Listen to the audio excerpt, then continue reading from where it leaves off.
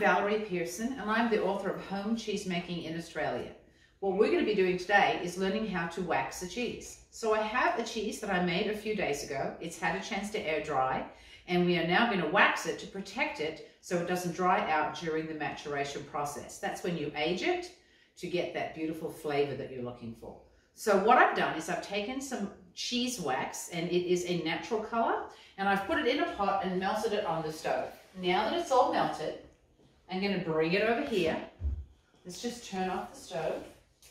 And I'm going to take the cheese and I'm going to dip it in the wax. So just take your cheese and the cheese is quite cool because it's been in uh, cool weather up here at Stanthorpe and I'm going to dip it in the cheese.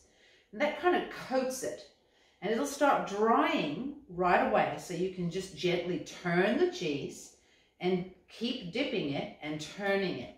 Now, by the time you get round to where you've already waxed it, that wax is already firm and dry.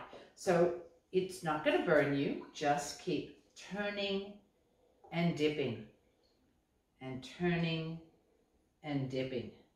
All right, we've been all the way around now, but we do have one thing that we haven't been able to do, is we haven't actually got any wax in the middle of the cheese. So I'm going to put it down on some wax paper, get my cheese wax brush, and then go ahead and paint the center of the cheese with the cheese wax because obviously I couldn't get that part of the cheese in. One, the wax isn't deep enough. Two, I really don't want to put my fingers in the hot wax. So I'm just painting that area with the wax brush to get a better coating of wax in that center. All right, now I'm going to turn it over and do the same thing to the other side and it's already becoming dry and firm. So just turn it over and do the other side. I must do this again one day with you and do it with a lovely red wax so you can really see how the wax is going on. So paint the center again. And now the whole cheese is covered with one coating of wax, but I'm actually going to double coat it. So I pick it up again. The wax is already firm and dry, and I'm going to do the same thing to get a double coating of wax. Now don't hold it in the wax too long because the hot wax will actually melt your first coat rather than giving it a second coat. So just keep waxing and turning and waxing and turning and then on again. Got a fingerprint there. Forensics will know it was me that made this cheese.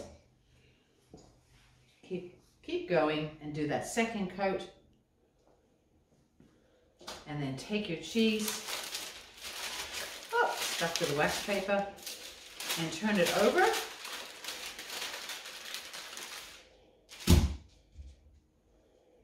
And do it again. Now I did have a little bit of my wax lift up right here, so I'm just going to glue it back down again. It's really very easy to wax your cheese once you know how. And it's a wonderful way to protect your cheese from any moisture loss during your time that you're drying the cheese. The other thing I wanted to tell you about the cheese wax is when you take this cheese wax off your cheese in the future, you can recycle it. So it's a wonderful, sustainable way to take care of your cheese without using plastic. And no vac packing is popular now, but this is a better idea. Thank you